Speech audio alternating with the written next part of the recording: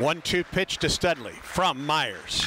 Line drive into center. Back goes Stanfield. He's at the warning track. Reaches up, makes the catch, bangs into the wall, hangs onto the ball, and the inning comes to a close. Here comes the 1 1. Line drive, base hit to right. Peirce will hold up at second base. Throw comes in from Studley and right. 1 0. Fabian, high fly ball deep to left field, and you can kiss this one goodbye. My goodness. That ball was gone, gone, gone. Second home run of the year for Fabian. And the Tigers lead three to nothing. Woo.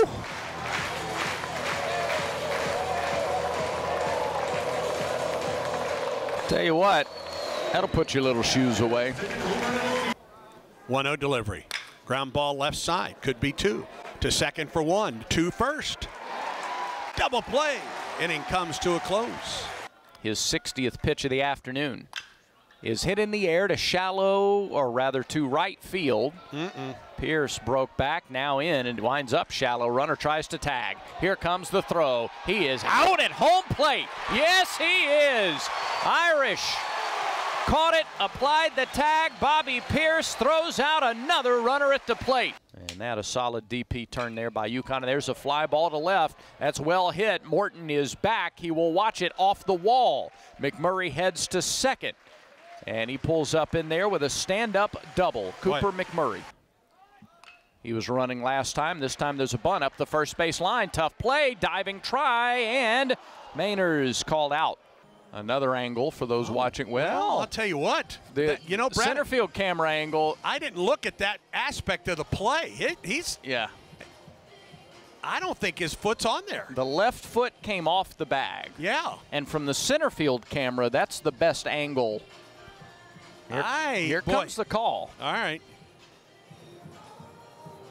After review, the call on the field will be overturned. How about big? that? How about that?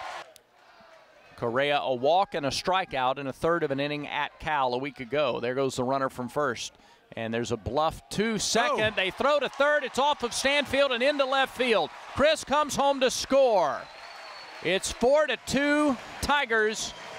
And Mainers winds up at third. Here's the 0-2.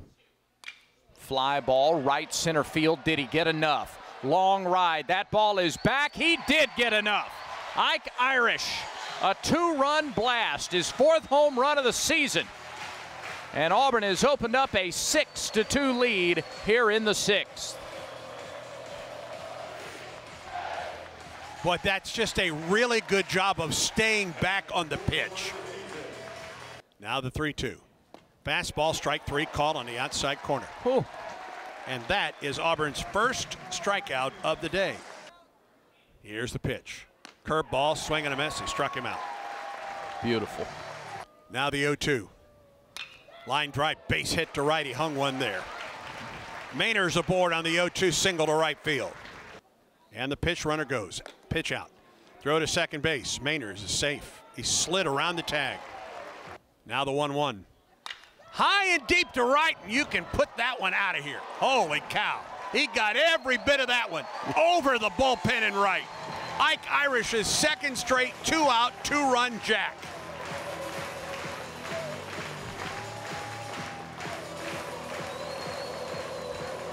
Wow.